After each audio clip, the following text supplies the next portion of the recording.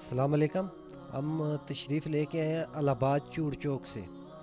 یہ بھائی کو فالج ہوا تھا، تو ہم نے ڈاکٹروں سے علاج کرایا ہے۔ تو اپنا انہوں نے علاج کرنا شروع کیا، تو ٹیسٹ کرایا تو ان کے گردوں میں، دونوں میں زہر بنا ہوا تھا۔ ٹھیک ہے جی دو تین ڈاکٹر بدلا چکے تھے۔ ٹھیک ہے جی تو پھر میں تو ادھر برارہ شریف آتا رہتا ہوں، سرکار کے پاس۔ ادھر کے میرے پاس تویز اور بتیاں پڑی تھی۔ ایک پیکٹ بتیوں کا اور تویز پڑے ہوئے تھے۔ تو میں نے بھائی کو بولا، نیت کریں، جب آپ صحیح ہوں گے، ادھر حاضری دیں گے۔ ٹھیک ہے جی؟ تو لے کے تویز بتیاں انہوں نے شروع کر دی۔ وہ ختم ہوئی، ہم نے ٹیسٹ کرایا تو گردوں کا زہر ختم تھا۔ آپ کا کہنے کا مطلب یہ ہے کہ آپ نے ان کو تویز اور بتیاں اپنی پلا دی تھی جو آپ لے کر گئے تھے۔ وہ استعمال کروا دیے۔ اور ان کو دم نہیں کروایا تھا۔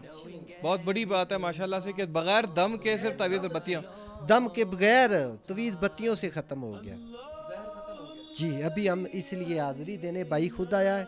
آج آپ حاضری دینے کے لیے آئے ہیں؟ یہاں جی جی ہم نے نیت کی تھی بھائی نے کہ میں ٹھیک ہو گیا ہوں تو ادھر آ کے حاضری دوں گا۔ تو ابھی بھائی اسی لیے آئے ہیں حاضری دینے سرکار سے ملاقات کرنے۔ اور آتے رہیں گے۔ اور سب جو بھائی بہن بھائی گھروں میں ہیں دور دور سن رہے ہیں، اگر انہیں نے شفال پانی ہے تو ادھر حاضری دیں۔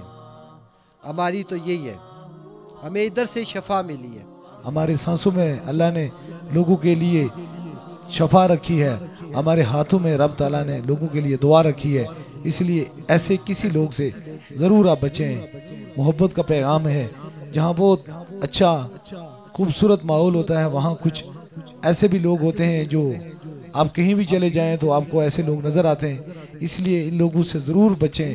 کسی ایسے بندے سے کوئی اپنا وابستہ تعلق قائم نہ کریں۔ اس کا لالچ سے تعلق ہو یا آپ کو اس نیت سے لائے کہ میں اس کے بعد آپ سے کچھ پیسے وصول کروں گا یا اپنا کوئی کام کراؤں گا۔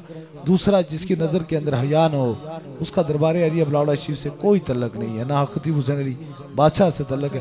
اور تیسرا یہ ہے کوئی میرے علاوہ دم آپ کو نہیں کرتا پوری دنیا میں۔ کسی جگہ پر ایسا نہیں، اگر آپ کو کوئی تکلیف ہو، کوئی مسئلہ ہو، تو میرے فون نمبر آپ کے پاس موجود ہیں، انہیں دم کرا سکتے ہیں۔